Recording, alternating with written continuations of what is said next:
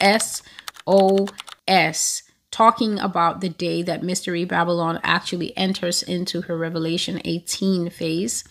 There is so much conjecture and so much argument in the Christian world, especially here in the United States, about the identity of Mystery Babylon. Who is this mysterious city? So it is called. Who is this kingdom that is referenced as being totally obliterated, annihilated, and destroyed in Revelation 18? Who has angered God so much that he will release such a cacophony of punishments? What nation or what kingdom, as it says, city? Who's going to receive that?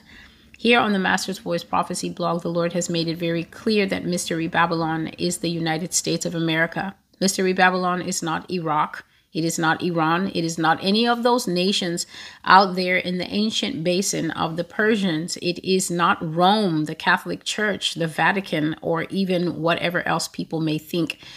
Mystery Babylon is America. Mystery Babylon is the once golden cup that was held in Jesus' hand but now, as I said in a prophecy from long back, probably a few years ago, said the cup has become corrupted and its contents have been befouled. And in this prophecy, God is saying how it will go down for America. And I have to tell you, it is exactly how America has made it go down for other nations when they have been in need. SOS America will give a distress call in the day of her final attack. She will give an SOS, a public appeal to the nations of the world to intervene and stop Russia when the bear attacks her. Yet there will be no hand of help and no ally. I despise your allies, says the Lord. No one will come no one will respond. No one will intervene. America will be left to herself on that day, and her judgments will fall in one hour. And yet, it has been prophesied here back to back to back that God says that He will scatter all the peoples of the earth, the entire melting pot, of humanity that lives here in the United States. And he said, If you thought you came to settle here, you thought you had found a forever home, he called it, you thought that you would grow old, old here. I, the Lord, am going to put an end to all that, and I will discourage you from staying here, and I will scatter you back to your nations. Now, in the very old prophecies, if you have been here for a while, you will remember that the Lord says that when America is nuked and bombed by the Russians and the Chinese, that this country will go through so much shock and awe in a single day.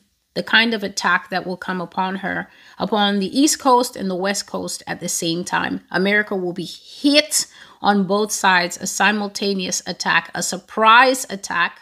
One thing the Lord said is that America will be struck a surprise blow that Russia will give America a sucker punch. So, a sucker punch is when someone hits you and you're not expecting it. You are not expecting to be hit by anyone, a blow when you are not expecting it.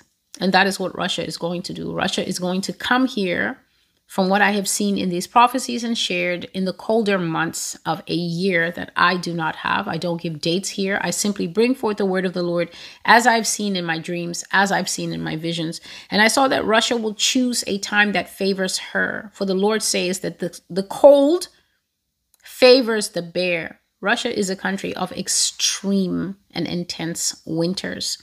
America has winters and we have areas of extreme winter, intense winter. But the problem here is that people don't revel in the snow. Nobody likes it. Everyone is bundled up inside. The thermostat is on. The house is heated.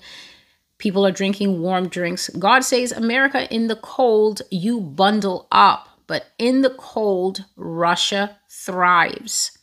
And so let that be borne in mind. So, Mystery Babylon, here you can hear in verse 10 in one hour a judgment will come. And here is the prophetic word from the Lord that America will be left to herself on that fateful day and her judgments will fall in one hour. So, I hope that you can see that there is more than enough comparison between what the Father is saying now in 2023 and what was said thousands of years ago. America is going to give a distress call in the day of her final attack. That final attack will be the day that we will wake up to the sound of Russia in the air, the sound of Russia and China coming out of the sea, as I described. The best of the best of the best is who God said that those sea people, air people will be. But for sure, the people coming out of the chilly waters of the sea will be the best of the best of the best. And they were just coming out in wetsuits out of freezing water, and women were among them. And the Lord said that no man hearing that women will be coming out of the sea could should think, oh well, okay, then they're going to be a little bit compromised because they've got females. That's not the case at all.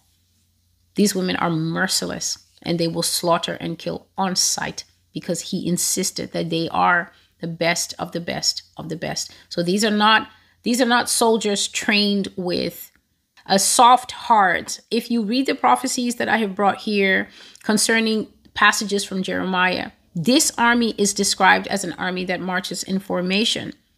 It says that not a single one of them is out of formation. And it says also that they cannot be bribed and that they will not spare. Their eye will not spare. This means that they will not have mercy even on babies.